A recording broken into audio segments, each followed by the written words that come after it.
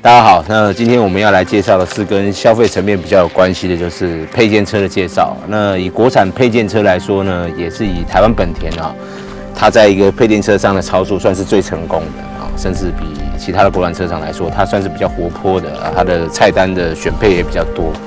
好，那我们今天介绍就是刚刚小改款上市的本田啊，汉达 CR-V。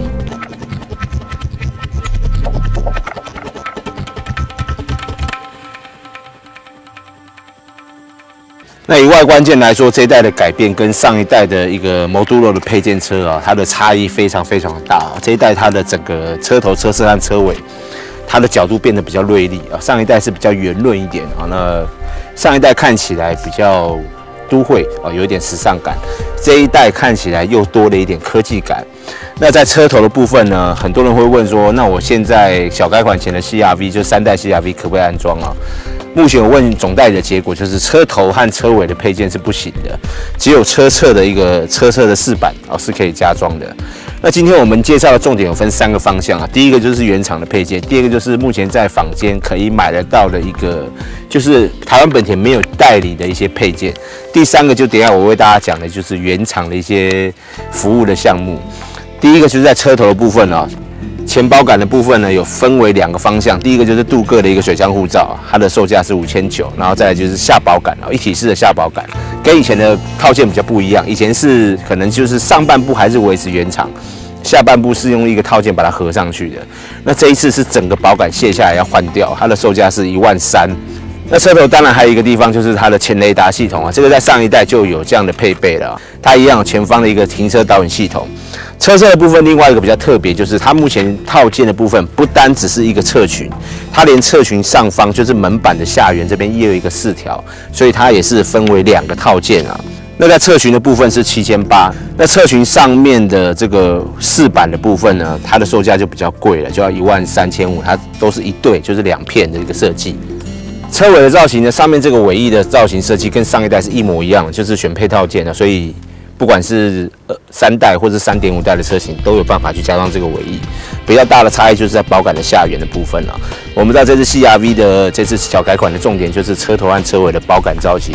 那后保杆的造型，因为它有一些角度设计上的不同啊，所以这一个保杆在三代车型来说也没有办法做安装啊。那它的角度看起来比较锐利。就跟刚刚嘉伟讲，就是它整个设计没有像之前摩托罗的套件比较圆润一点，它现在设计是比较方正，然后比较有一些角度的一些一些修饰，而且还有一个重点就是，今天我们所介绍的这些原厂配件啊，上次嘉伟在介绍 Fit 的时候有讲过，就是假设你是在新车交车前就一并选购，那你就跟新车一样可以享有三年的十万公里保固。可相对的，如果说今天你是买了车之后，你看到了今天的影片，或者是哪天在马路上看到，哎，这个套件还蛮漂亮的，我要回原厂装，那你的保固就变成只有一年两万公里啊，这是两者之间比较大的差异，价钱一样，保固的日期也差三分之一。啊，所以如果说你最近有打算要购这款车啊，那这些原厂套件呢，其实你可以加减。做一些改装啊，它这些都是经过原厂认证的，第一个你不用怕被开罚单，第二个就是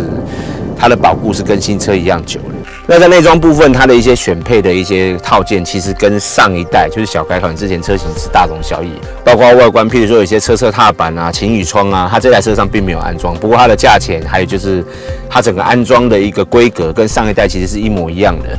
比较大的差异就是在后座乘坐者可以享有的一个影音配备啊，就是一个吸顶式的一个荧幕。那这个荧幕呢，在上一代也没有。那我刚问的原厂就是它并没有一个规格的限制，所以其实你不管是二代、三代的车主也可以去享有这样的配备。那这个荧幕它内建的一个 DVD 播放系统啊，那你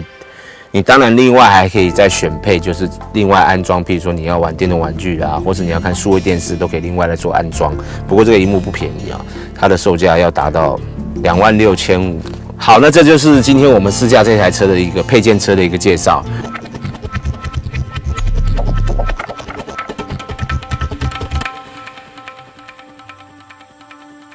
那接下来，接下来我要跟大家介绍，就是我大概收集了一下哈，其实在日本摩多罗原厂，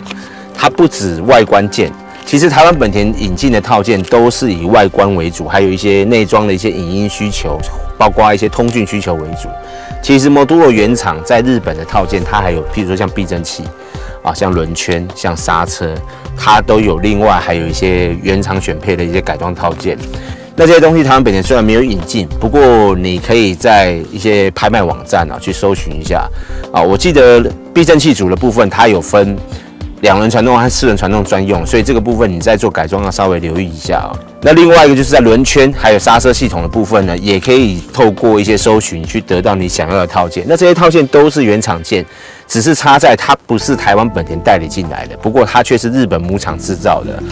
那它在整个规格上呢，就符合原厂的一个规格啊，你不用不用担心说啊，装上去万一到时候譬如说不符，或者是说啊装上去很容易故障啊，就比较没有这样的问题。好，那我今天为大家介绍到这边。好，那明天我们还有最后一台车，以及嘉伟另外在同厂加印的一个，就是一个卫星导航产品的一个报道。因为很多人说我现在要返乡了，甚至我有一个很长的假期，那我希望能够报道，希望我们能够报道一些比较 CP 值比较高的一个卫星导航套件。那明天我们会为大家顺便来做介绍。OK，那我们明天再见。